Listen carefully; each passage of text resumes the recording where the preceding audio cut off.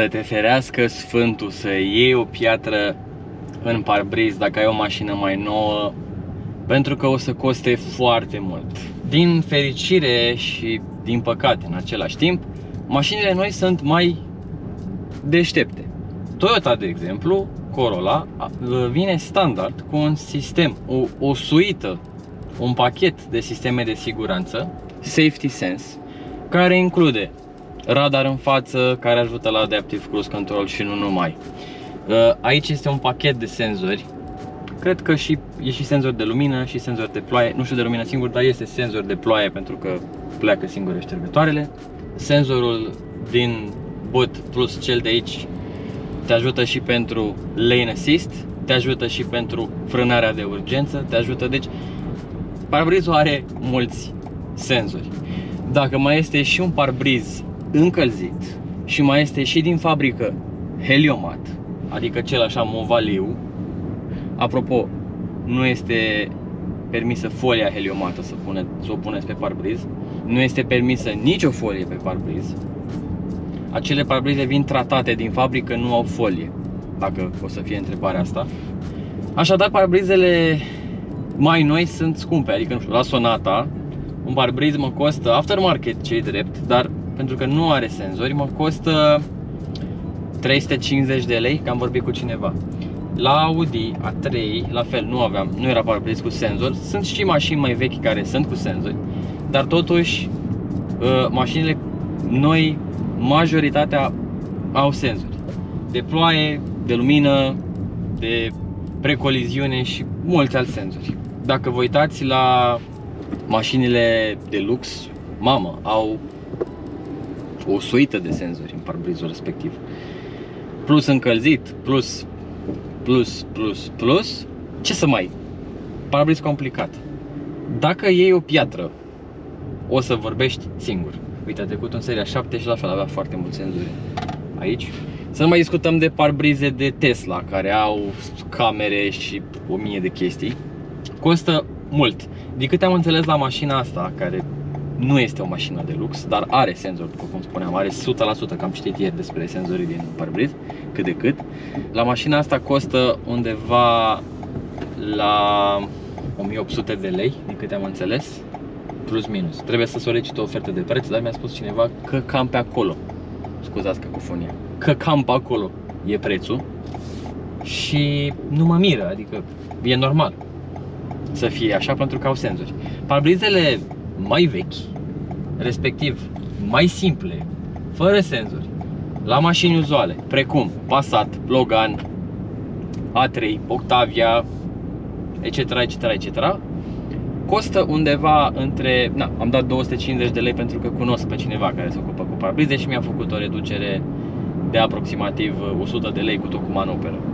Și am dat pe parbrizul de la Audi A3, am dat 250 de lei. În mod normal costa 300 sau 350 de lei cu tot cu montaj. Un preț mediu aș putea să zic că este 300 500 de lei.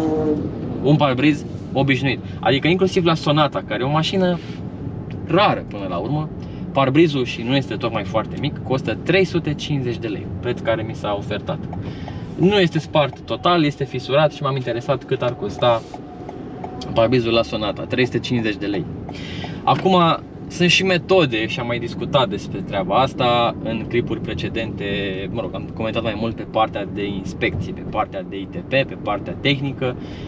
Dacă înainte de modificările ce au avut loc în 2018, dacă aveai o fisură în partea de la jumătate încolo și pleca către dreapta, în zona indirectă a parbrizului, aici e zona directă, zona indirectă și ai o zonă care nu este importantă, așa o ramă și unde sunt zona ștergătoarelor. E bine, s-au schimbat aceste zone. Acum ai zona importantă de tot parbrizul, unde n-ai voie să ai fisuri.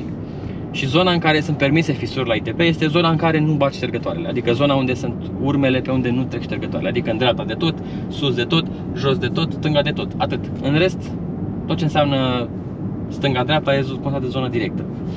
Bun. Dacă acum e o fisură în parbriz, teoretic nu treci ITP-ul. Practic, se mai închid ochii pentru chestii de genul ăsta, pentru că nu sunt atât de grave, dar în mod obișnuit, legal și oficial, nu ai voie să treci ITP-ul.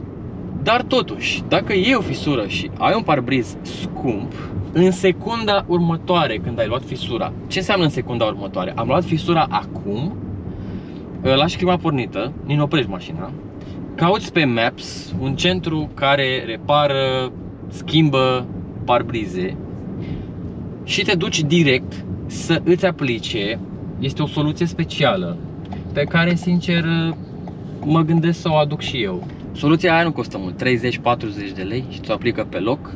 Este o substanță care, na, îți dă acolo, îți curăță un pic, îți dă cu soluția respectivă, ți-o injectează cu ceva special, o seringă specială sau nu mai știu. Am pus la 3 uh, chestia asta și elimină 99% din riscul de a pleca fisura respectivă mai departe. Că da, e o pietricică și fisura pleacă, tata, se duce mai departe. Și dacă nu faci asta, am făcut această greșeală, nu o faceți și voi, mai ales dacă aveți un parbriz scump. Dacă ai un parbriz de 300 de lei, n-ai apucat, îl schimbi și la revedere. Mai ales dacă e un parbriz vechi. Parbrizul, dacă e foarte vechi, am făcut un clip care iarăși a fost un pic hate-uit pentru că... Bă, ce, unde ai văzut, bă, să schimbi parbrizul la nu știu câți ani că e vechi?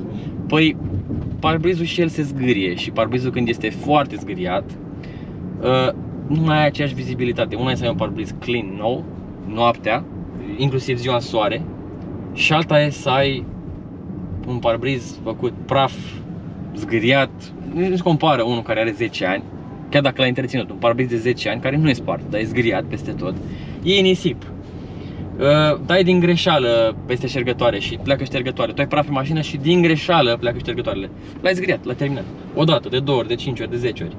Am dat eu din greșeală pe parbriz uh, iarna când era înghețat, deci chiar am dat din greșeală pe mașina asta, din fericire nu s-a întâmplat cine știe ce, probabil că am ciupit ștergătoarele, asta e. Dar se pot face multe chestii de genul din greșeală, în fine. Soluția îți elimină riscul să plece fisura mai departe, să se ramifice. Iar eu am făcut greșeala asta la A3. Am luat o pietricică pe Valea Altului și am auzit bau, am luat pietricică jos de tot, nu se vedea. Și am zis, lasă-mă că mă duc eu când mă întorc, mă duceam la Brașov, veneam la facultate, lasă-mă când mă întorc la Vâlcea, mă duc și mă duc după aia la doamna cu parbrize și vorbesc cu ea și se rezolvă. Ce să te mai duci, bă, tată, că până a doua zi dimineață de, la, de jos de tot era deja până la jumătatea parbrizului. Și așa am stat mult și bine. Dacă mă gândesc bine, cred că în primele mele clipuri cu A3-ul, dacă mă uit un pic pe canal și sap, cred că chiar se vede fisura respectivă așa care plecase. Dar ea era jos de tot, adică era, abia se vedea, bau, petricică și s-a dus stat. L-am schimbat ulterior cu vreo 350 de lei până să vând mașina și după ce am schimbat parbrizul am luat altă pietricică în parbriz. Din fericire a fost mai mică, n-a fost așa adâncă și pe aia m-am dus și am, am stopat-o cu soluție. Și n-am mai plecat. Am lăsat-o în soare, în frig, în... Fisura se ramifică și pleacă în momentul în care e o schimbare bruscă de temperatură. Adică tu iei fisura acum, fără sunt 24 de grade, mașina are 20 de grade cât are na, fața la umbră și vin 38 de grade, stă în soare, înăuntru sunt 55 de grade și dai seama că parbrizul trece de la 20 la 50 și ceva, 60 de grade și automat, bam, pleacă fisura și a fost. Deci, ca să evitați niște costuri din astea atât de scumpe cu parbrizele moderne, aveți grijă pe unde mergeți. Dacă luați o pietricică, o fisură, mergeți și stopați-o de urgență fix în ziua aia. A doua zi poate fi prea târziu. Chiar și în ziua respectivă, dacă opri mașina, stat în soare, e foarte cald afară, deja în 3 ore deja e prea târziu. Deci trebuie în secunda aia căutat uh, centru, du-te, bag la umbră, du-te și stopează fisura. A doua zi poate fi deja prea târziu. Pentru că am pățit, am bă, mă duc a doua zi, a doua zi la revedere, era praf. Și repet, norocul meu a fost că a fost un parbriz pe care am dat aproximativ 300 de lei. Deci n-am dat mult. Dar să fi avut un parbriz de Octavia încălzit cu firicele prin parbriz, de Ford firicele prin parbriz, parbriz încălzit cu senzori de cruise control, senzori de lumină, ploaie și așa mai departe. Adică Cred că un parbriz de genul ăsta, la o mașină relativ nouă, cred că sare de 1000 de euro. Preț de reprezentanță cu TVA, cu adaos, cu, fac, cu montaj, cu tot, cred că poate ajunge și peste 1000 de euro.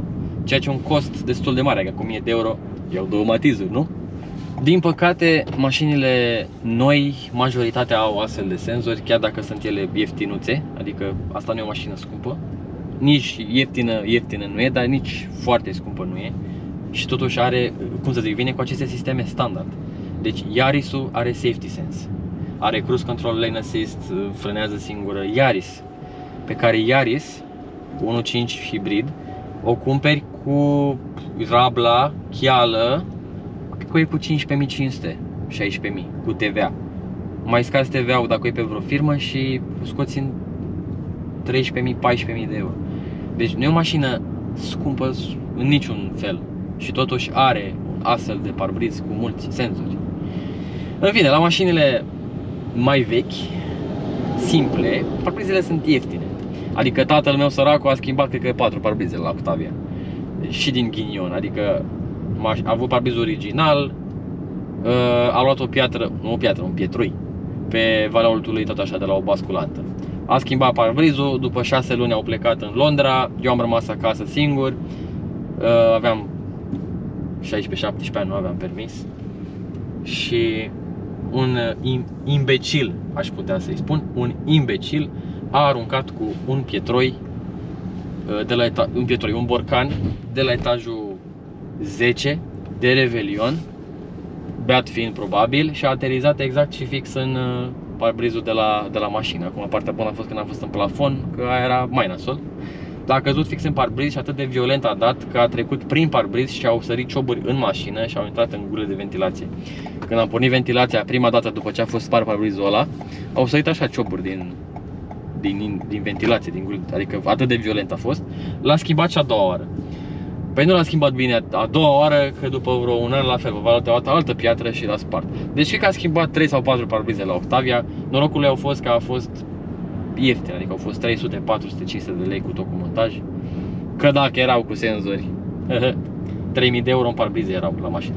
Da, și domnul Buhnici am văzut că a pățit cu Tesla de asemenea a fost să schimbe parbrizul la Viena. N-am văzut tot clipul, dar știu că s-a dus să, să schimbe parbrizul și din câte știu era destul de scump. Nu știu dacă l-a schimbat pe garanție, pe casco, pe cum l-a fi schimbat, nu știu. Nu mă pronunț, dar știu că s-a dus tocmai până la Viena să pună un parbriz original plin cu senzori.